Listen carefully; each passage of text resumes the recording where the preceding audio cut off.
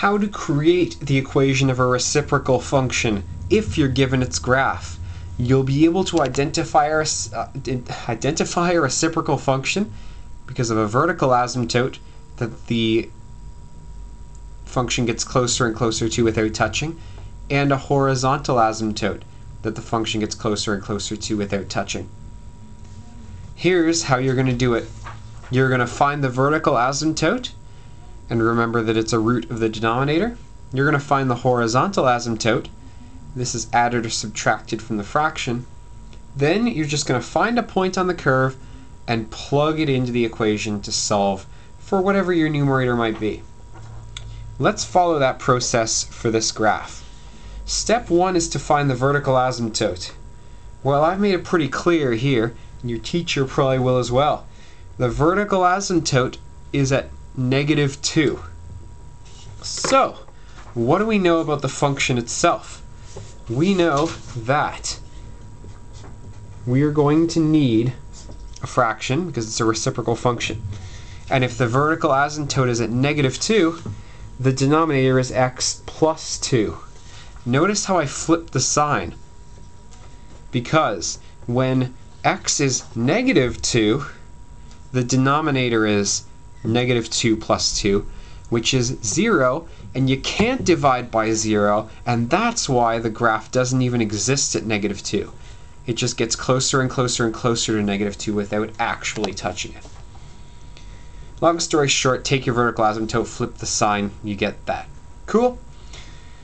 Find your horizontal asymptote, and that's added or subtracted from your fraction. I've made that pretty clear here too. This horizontal asymptote is at y equals positive 3. So, you got a plus 3 at the end.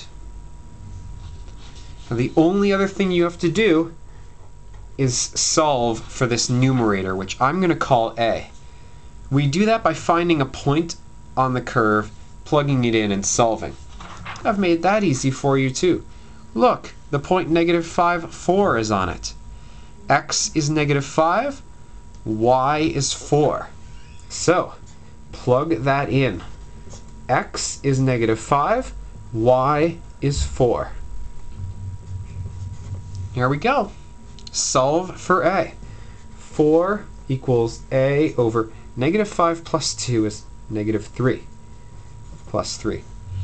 I'm going to move that 3 all the way over. 4 minus 3 equals a divided by negative 3. 4 minus 3 is 1, of course.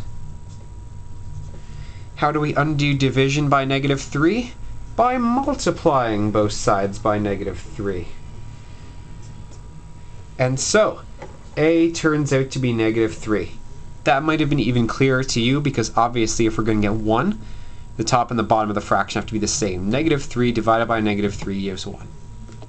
Anyways, a is negative 3, and the final function here is negative 3 over x plus 2 plus 3. Done. Vertical asymptote gives that. Horizontal asymptote gives that. A point on the curve lets you solve for the numerator. Piece of cake.